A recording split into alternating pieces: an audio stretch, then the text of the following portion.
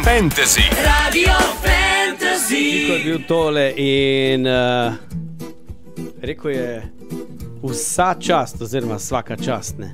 Tako da vsa čast tudi uh, našemu gostu, gosti, ti si prej rekla, uh, da pride Penzič en pride. penzič. Nisva dala vedeti, da je uh, moška ali, ali ženska. Ne? In prišla je ena in edina, Tina Trstenjak, dobro jutro. Dobro jutro. Najlepša upokojenka. Penzič, ne? Penziča. Okay. Ja, eh, zgodilo se je, ne? novo leto je prineslo Nove izzive. nove izzive. Koliko je obesiti na klinki mono? Um, pa v redu. Mm, sem se na to pripravljala in tako sem vedela, da to enkrat se bo zgodilo. Um, dosti lažje mi je bilo zato, ker sem dejansko um, dosegla, kar sem si želela. Uh, verjetno bi bilo v drugačnem primeru Uh -huh. težje. Ne? Mislim, konc koncev si uspela si osvojiti pa čisto vse. Evropsko zlato, svetovno zlato, olimpijsko zlato, pokali, sem in tja. Uh, ja, dejansko usvojila sem vse, kar se usvojiti da, uh, na kar sem zelo ponosna, po moje zdaj še bolj kot pa v tistem trenutku, ko je to meni uspelo. Ampak veš kaj pa smotane. Ker mi dva Janko smo se ful trudila, ne, da bi eno stvari ni osvojila, ja. Ne, ne, mislim, ali pa da bi drug osvojil njeno srce, ker očitno je najna um, ne, ženitvena posredovalnica bolj. Ua, ua, ua. Ja, nič ni, ne. Nič ni bilo iz tega. Slabo sta delala. Jaz sem šel preveriti, ne, ne naj krcati, prijavnica ni bila izpolnjena ustrezno. Moja, moja ali od uh, kandidatov. Ne, ne, tvoja, ker že ti v štartu nisi povedala vseh zahtev, ja. Ja. pa nismo vedeli, kaj iskati. ne. Ja, to je bilo huško požarni zid v računalniku, Ja. ni šlo skozi Ni šlo skozi, tako da ti ne bomo mogli to ponoviti. Ja. Vsekakor. A veš, se ljubezni moraš dati šanso. Sam me pa Takega zdaj. ni, no, mislim, sam tudi hočem povedati, takega ni, ko je bil v prijavnici zapisan. Ni, še James Bond ni ta prav. Ne, sam veš, kaj mene zdaj bolj zanima. Ne? Glede na to, da vsi poznamo, mislim, ni glih stereotip o upokojencih, ne? Mhm. ampak te ti ljudje res nimajo cajta. Tako da, s čim boš ti zabijala cajt v penzi, da ne boš imela cajta za vse ostalo? No, dejansko ne. Jaz bom zdaj imela manj časa, res nič, no, ampak bom še vedno uh, delovna uh, populacija Slovenije. Aha, še Tako vedno da. delala. Seveda. Dobro, v redu.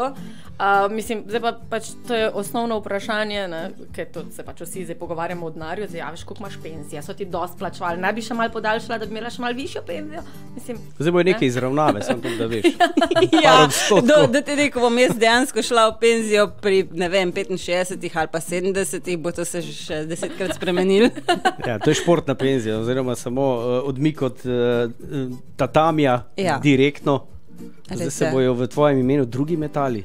V mojem imenu ne, Ne. ampak V malo- njihovem. Ne, mi tudi gledam. Ena pot se konča, druga se začne, novo leto, leto izjema, ampak jaz na novi poti veselim se že vseh nadaljnih izidov. Berem tvoj Instagram, si, Ja, imela, vidim. si imela moment, veš. si imela moment. Cel spis. Uh, ja, niste vajeni toliko besed od mene, ne? Ne, ne. Ne, ne. no. Pogledaj, še leto. Ja, no, Scrolla. sem videla, cel Kamera, spis je pogleda, napisala. ne, Koliko cajta si to pisala? Mislim, pa si to pisala, a veš, v Wordu, pa si pa le sam skopirala. Dejansko sem v beležki pisala na telefonu. Uh, za vsako sem se malo spomnila, ni bilo to zdaj vse naenkrat. Ni bilo to je Silvestro ob 4 trajalo zjutraj. Mesece in mesece, veš, da je ona to pripravila, pa, pa sam. Ne, ni bilo mesece in mesece, ampak Okej. ja. Uh, Tina Trstenjak je z nama, uh, malo muske, ne, ker je Ava Mak že v podlagi. tako Da, uh, lepo. vrnemo, se Ja, vrnemo. se vrnemo. 8 minut in pol je čez pol, eh, lepo, danes imamo v gosteh Tino Trstenjak Najlepša upokojenko leta Ja. 2023. z letom 2023 je obesila kimono na klin in to je to. Pozdravljena še enkrat. Zdravo. Ja, vidiš, to, ne, si to, to, ne. A veš tisti, ki so zdaj vklopili radio, ne pa začeli poslušati. Malo sem gledal v ene mm, razno razne zapise, pa so opisali in jo so rekli, je tiha in sramežljiva, a v pravi družbi se zna sprostiti in je zabavna. So to je res. Ti si res taka bolj tiha, ne? Ja. Deluješ ono napadalno, ne napadalno, tako strah bo zbojajoče. Noben te ne upa nič vprašati, to je isto bilo pa Oprosti, ampak dan s temi volančki, Ja, pa make-upom, le pa davč od tega, da bi bilo kjer ga strah. Ker vsak bi prišel ti naprej, sem hiter, malo se pocartati. Ja, ne bi jaz to, mm, mm, to sem sprobo, to Okej, okay, pa sem že prva- bil na hrbtu. Ta prva stvar, ko je ti napršal noter snajka, a ga lahko prosim zlamaš. Jaz sem razloga nisi navedla, šuši. A rabim razlog, da Ja. si. Mislim, Sej Pa je v redu, sadomazo, mi, Merkur, a veš. sadomazo razumem, jaz sem zakaj zdaj le zjutraj, ob osmih. Ne? Ja, ker si še tašč. pa se te bo bolj prijel. No, zdaj uh, Tina, nova pot te čaka, o njej še ne moramo govoriti, zaradi tega, ker še tudi stvari niso, bom- čaki, šuši, ker še niso vse stvari uh, z retrogradnim Merkurjem, pa to se pokrile, ampak šuši pa ima neko novo ugotovitev, ker je ona našla. Kaj si No, ti in kaj boš bila ti? Ker malo me strah zdaj to, kar Jaz boš- mislim, da bi te lablo. Ja. Ne, pač iskreno, No, no. Tina, tisto zna se šteti ena plus ena, je Tina v bistvu že tako ali tako uh, na svojem Instagramu razkrila, kaj je njena upokojenska, v narekovajih, pot in sicer, zdaj edin dve opciji sta. Ali boš samo back vokalistka pri skupini Bipop, ali boš dejansko del skupine Bipop. Ker um, več kot si pa očitno plesalka je, pri mislim, Sebastianu. Nič. ja, mislim, kaj zdaj. Eh, To so eh, dve stvari, v katerih sem res slaba. Petje in ples, tako da nič od tega ne bo. Aha, torej, imamo kakšen izziv mogoče za njo? Če si upata, sem Pes. po moje si ne. Mislim, jaz si upam, vse več kot nalamat, me ne moreš. Pa v bolniško bi tudi, a veš, rada šla, ker šef mi ne da dopusta. Tako easy ne bo šlo. No. Se pravi, se pravi, si večkrat v družbi uh, bipopov, to moramo reči, da smo te videli, uh, ni pa uh, smer, v katero bi lahko zašla Nikakor. pevsko. Pa Nikakor. saj Imamo autotune, pa tudi, a veš, z računalniki se da zrihtati. Jaz mislim, da nič od tega ne bi pomagalo. Resnično. Si kdaj poješ doma? Ko pravijo, kopalnici je najbolj fajn odmev in takrat imaš občutek, da si profič. To ti veš, ti to pa prakticiraš. Ne. Uh, ja, Tak je. ok, zdaj ko sem sama doma, ne.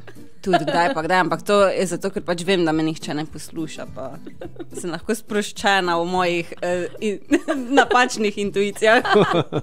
Kjer pesem si največkrat zapoješ? Pa v bistvu nimam zdaj A čist- neki, eh, čist, recimo, da je kaj po radiju ali pa karkoli, pa mi gre v uho. Pa si A zraven pa od pol Bipop poješ, ja. znaš, kjer mogoče? Ja, znam. Odpeli me. Pa naj bo, kar hoče. Tina poje! Tina bo nova članica skupine. Bipop! A ti dam zdaj le matrico gor. Pa kar celo odpoješ. Ja, le. Tina. Trstenjak, nova karijera. eh, Ne? Ja, uh, Nikakor ne v tej smeri. no, mislim, zdaj, uh, hočeš reči, da ti Bipopovke, mislim, Bipopovke si ti de- dejansko pri srcu. Ja. Uh, Zelo veliko se družiš z njimi in jaz mislim, da one bi ti rade volje pomagale na tej poti in bi te, po mojem, sprejele, vsaj če ne druga za back vokalistko. Ta, ta, ta, ta, ta. Pa bo šla njihova karijera. Kaka, kaka je po tvojem danes vremenska napoved, ker ko si prišla, si komi najdla? Ja, zdaj se bo sonce zgodilo, ko sem jaz tukaj. Vse je že. To Mislim, moramo reči. ne. Tako, Razsvetljenje je smo doživeli. posijala. Tina je prišla, prisjala. Mm. Uh -huh. Tina Trstenjak je še vedno z nama, Najlepša pozdravljena še. upokojenka Ej, 2023. Rad. Nažalost. Ali kaj, zdaj sem še kar tukaj, ali kaj moram reči. Ne, bodi vesela. Ja, se sem do, do trenutka, zdaj ki prihaja. ne, ne, ne, ne. Zdaj, uh, v redu, ti si še vedno aktivna, ne tekmovalno aktivna, ampak vse še Ja, se greš metati po tatamijo. pa vsake toliko. Uh -huh. Pa vsake toliko, što je za njo tako pač zajtrk. Ej, dej mi sam povej za vse tiste, ki niso tako podkovani, eh, tudi jaz med njimi, uh, ipon. To je, A? kaj, Met na hrbet, da nasprotnika vršiš. mora ne? biti čist na hrbtu. čist na hrbet z pač močjo. Vse se mora poklopiti, Ja. lep met mora biti. Pa mora biti pol tudi nekaj časa v tej, pozi, eh, tej pozi, ali ne? ne, to je med, zdaj v, v parterju pa lahko dosežeš ipon tudi ne, eh, ne s tehniko v parterju. Torej, končni prijem vzvod, taljenje. Da, da nasprotnik vsaj dvakrat. Udari pol, ne, to pomeni, da je konc. Ja. Aha, kaj pa je viza, v- vazari? Je pa, kadar med ni izveden točno na hrbet, recimo, da nas sploh ne Prav, pade. Ipon ni narejen do konca, okay? Ja. pa je v zadnji. Ja, recimo no, na tak zdaj način. Laični. In dva Laični. vazarja pač pomenita ipon. Aha, dvakrat na pol je en ipon. Minus pa minus da plus. Ja. No, Matematika. Ne, vedno, ampak eh, v redu je. Zmeri. Ja, ne, ampak gledata nas dva skupaj. Ja. Um, Ja, Aha. ja, ja, ja, ne gledam, vidim tukaj imamo danes eh, predvsem dekleta prevladujejo, tako da, draga moja Tina, imamo rubriko, ki na nek način malo poznaš, saj zdi se mi, enkrat si že sodelovala, če pa nisi, boš pa danes prvič. Fantazijeve karte skrivnosti. Si upaš? Potegnijo. Si upaš? Ne. Zdaj, eh, ja, lej, karte so, šuši razlagi pravila, kakšna so, ne? potegneš karto in jo, tako ko jo imaš v roki, pokažeš v črno okay. kamero. Okay. In potem, ko jo obrneš k sebi, takoj prebereš brez razmisleka in odgovoriš. Prva asociacija. Okay. A moram na glas pač prebrati. Seveda. Najprej vidimo mi, pol pa ja, ti. ja. Okay. Zdaj pa verjetno od 100 kart eh, Ja, ja, točno določeno Jaz sem potegne. zbrala jih sam šest, ne? in A ja. med temi šestimi boš dve si potegnala. Dve. Mm. Prvo Najprej eno, Aha, eno. Če Zakaj bo zanimiva, boš tri vlekla. Sem. Hočeš, da to stran zberem? kaj češ, mislim, oni vse. Če boš zanimiva, boš tri brala. Ja. Okay, zdaj pa hitro preberi na glas. E, Kaj je najbolj divja stvar, ki ste jo kdaj naredili? Šla sem na bungee jumping v Braziliji na 150 metrov v neke skale. Oh, shit. Full fine. Jaz zaradi, da mi rečeš, ti na gremo. Ja, jaz sem okay. full rada adrenalinske športe. Se Česa pravi- od adrenalinskih športov pa recimo ne bi naredila? Ne, ne vem. Se pravi, ko damo na tehnico vokalistka pri bipopu ali adrenalinski športi, ni problema, lahko tudi kobilce jemo. A sem prav razumel? Ne, oddaj je jedanje kobilic za adrenalinski. Ja, je, ne, mislim, ampak kače med zobmi. Ampak eh, pač, ja, imam rada, eh, ne vem, prihodnosti bom vsekakor šla skok s padalom v tandemu. Um, take stvari, no, so mi zanimive. The best. Adrenalinsko dekle, torej. Taka je tudi, mi dva dajemo tudi nek opis tebe, ne, eh, poslušalce, ne samo statistika, juda, ne to za tiste potencijalne, oni, ko bo izpolnili. Ne, tole. ja, Prijavnico, kandidati, Morate ne? biti adrenalinski. Tako. Morate Gremo znati naprej. pet, oziroma morate znati poslušati Pa adrenalinski morate biti, da boste spol- polgal. Druga karta se vleče. Jo, je tako veliko je napisano. Malo več, ja. Ok, Ja. da slišimo, kaj je karta številka dve. Če bi lahko s časovnim strojem odpotovali v katero koli leto, katero leto bi izbrali in zakaj? Sploh ne vem, zakaj bi pač potovala, 2016. če si ne želim tega. No, recimo zdaj pa. Če gremo nazaj, pa res mogoče 2016 po olimpijadi in bi bolj uživala in bolj bi praznovala, ali kako se temu reče, bolj bi. No, te stvari. Govorimo saj- o olimpijskem Ja. ja. zlatu v Braziliji. Ja, ja, ja. Tina, evo. mi ga lahko še dan zapijemo na teh 2-16, veš, tako da ni noben problem izgovoriti. Kaj lahko še eno? ja, jaz mislim, da, ker si zanimiva. Ne? Zakaj moram biti jaz posebna? Lej, zdaj pa si. premešala. Zadnje štiri. Se vidi, Ker ono, dej karto, najboljš pa mislim. ne, mi ne. tisto, ko hočeš. Ne, ne, ne, rede, lej, sej, a, a sem ti izbrala take lepe? Ja. No, vidiš. Ja, mulj. Katere so najbolj čudne sanje, ki si jih kdaj imela? Najbolj čudne. Kjer je Ne bil? vem. Kjer je bil, a veš? Pač, a ful ma, malo sanjam, resnično, ne sanjam ful velik. tako Da, sploh se ne spomnim, kdaj sem na zadnje nekaj sanjala. Ti si iskrena. sploh ne bi pasalo sanskega moškega. Jo, za smarija res ne. On bi mene ven vrgel. Ne, Ne, po da bi bilo prekinjaj.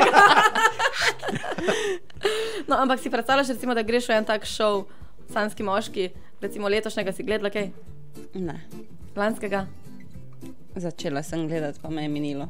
Ok, pa smo bil tu. Če gledaj, pol ni ta prav. Ne, Le, o, o, o, o, o, o, Ne, o, eh, o. in nikakor res ne bi šla sploh v tak šov. Nikakor.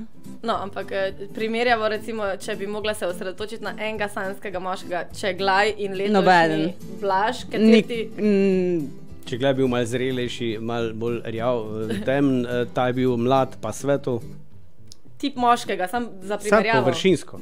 Da vemo, kaj iskati. površinsko. Ja. Mislim, Če ti rita, izgled. le, moramo upisati noter.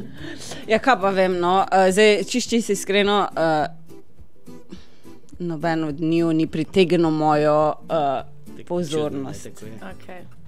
Mislim, jaz sem, Ni čudno, da je jaz tako. sem je. rada imela pač pobrite.